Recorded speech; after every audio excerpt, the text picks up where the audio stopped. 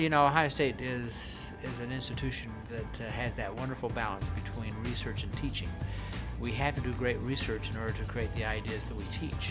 And then, and then through you, through our, through our students, then we take, uh, we take those ideas in the world. So it's this, uh, it's this symbiotic relationship. Uh, well, the opportunities are, are vast. Um, being the only accredited university in the country, and it's, it's a rather close-knit department. Um, so there's really uh, not many other people out there that are getting this experience. You know everybody's name, you know everybody's face. Uh, it's not uh, anonymous as you might expect a larger school to be.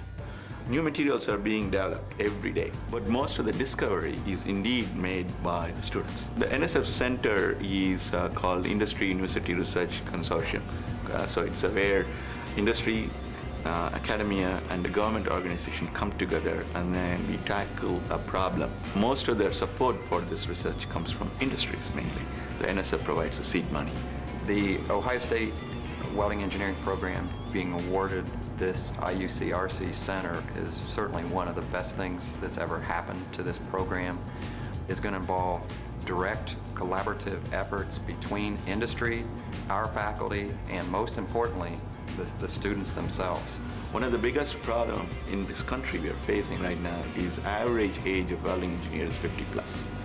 So that means these engineers are needed and they also need to have interdisciplinary skills. The types of students who apply uh, to graduate school in the welding engineering program here at Ohio State come from uh, multiple backgrounds.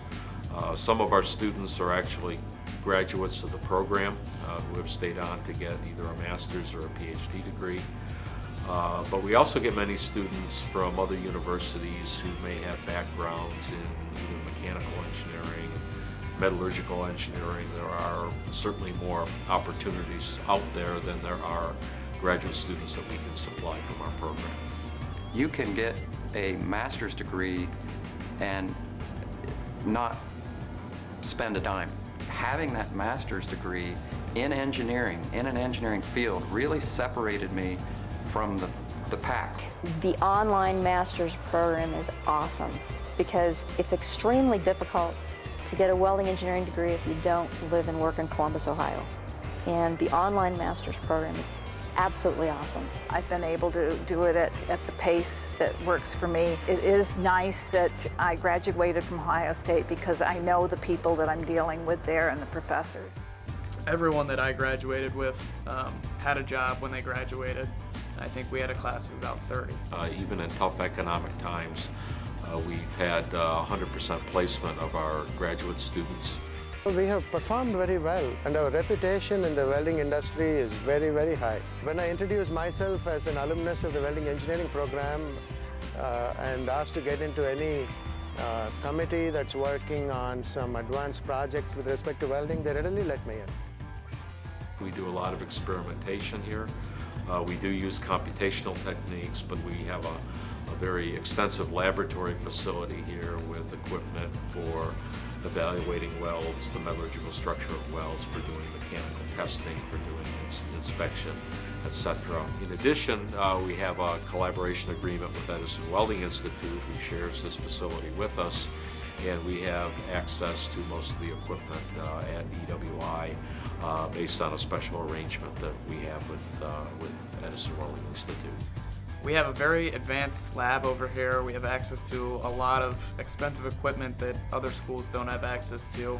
Um, the machine that I use, the Gleeble Thermal Simulator, um, is a very advanced piece of equipment that a lot of our uh, grad students use for research. Um, it's nice having our own facility over here as well. Um, that's one of the big draws too. Being able to drive over here, we have our own computer lab. Um, all of our labs are located over here. We have a lot of classes over here as well. The close-knit nature of uh, this program, small, very distinguished, having a world-class uh, impact, uh, can only mean that uh, there is a real uh, sense of community that uh, probably lasts for a lifetime.